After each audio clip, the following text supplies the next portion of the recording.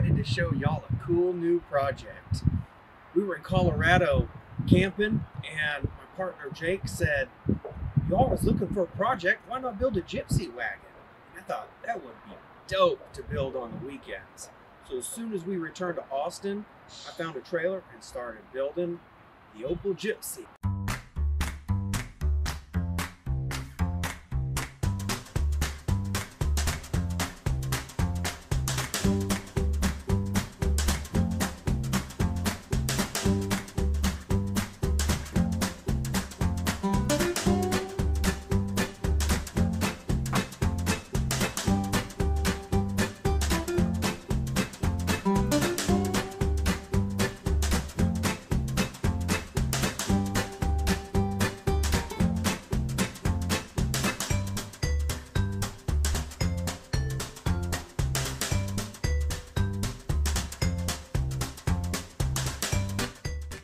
On the back of the gypsy wagon, we have a folding porch. It hangs by chains and then folds right up against the back for traveling. We found these gorgeous old French doors online. These were actually the side lights to them. And we cut them down and had a gentleman here in town make stained glass windows for them. Through the rear doors, is our bathroom. We set up a bucket style toilet here. Once you use it, you put a scoop of sawdust in it. It completely eliminates any odor. And once it's full, it goes in a 50 gallon drum. And within a year is ready to be used to fertilize your garden or your trees. Above it is a wine box that we use for some storage. We hung the light in sideways just to fit it into this space. Found a neat old mirror to put in. And then below that, we floated a live edge slab of cedar and used an old enamelware bowl for our sink. Across from that, we set a beautiful galvanized trough inside another piece of live edge cedar and surrounded that with cedar that we finished with Waterlox to protect it from any kind of water damage.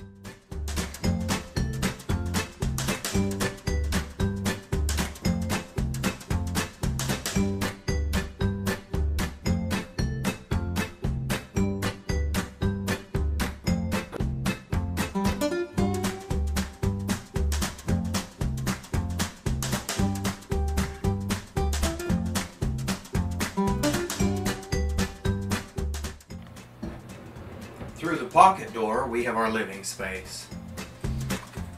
Down below, we built out a little electric fireplace, reminiscent of the wood stoves and gypsy wagons, but we didn't need that down here in Texas. And then above that, we built out our closet. I designed the doors and built them to look like a beautiful old church altar that I really liked. And beside that, we built out a couch that folds into a full bed. And then it can also be lifted up for storage underneath to hold the bedding and whatever else you might need there. Beneath the Opal Gypsy sign is our kitchen. We use a live edge slab of pecan for our countertop and a safe space, we tucked an induction burner in the top drawer.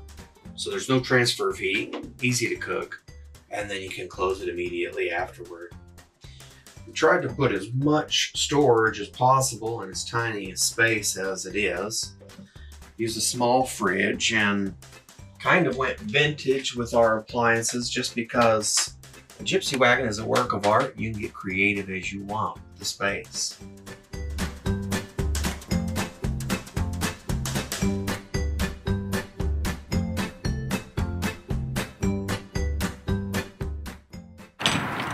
Going, y'all? Come on in. This here is Bitsy. First thing I want to show you all are these beautiful stained glass windows. Uh, they were created by a friend of ours named Z here in Austin, Texas. Uh, it took him over two months, and as you can see, the craftsmanship is exquisite. We're very happy with them. If you want to step in a little bit. This is the bed nook at the end of the gypsy wagon, and the frame, which extends around it all the way, is reminiscent of the old Romani gypsy wagons uh, with vines and flowers. We thought that would be a really cool addition. Directly beneath uh, is the storage space. Whatever items you'd like in here, maybe place it. Just there. If you come on in all the way, just look at this beautiful uh, shadow here cast by the stained glass window we have on the side. It's a great place to kick off your shoes. Maybe open up a bottle of wine. Sit here with, you know, whatever friends you have, and if you're just alone, you kick back, pile up the pillows, and watch Game of Thrones on HBO.